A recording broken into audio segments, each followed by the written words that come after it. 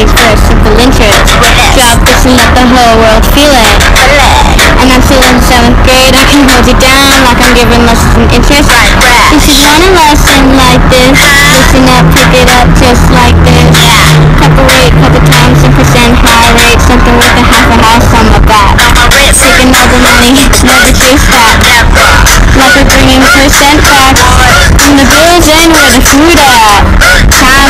You should taste that. Simple interest.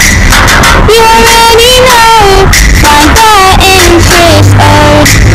Then find total amount of simple interest. You already know. I said simple interest. Oh.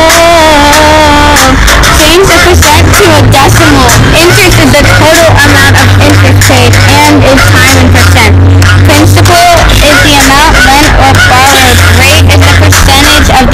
principal charged each time.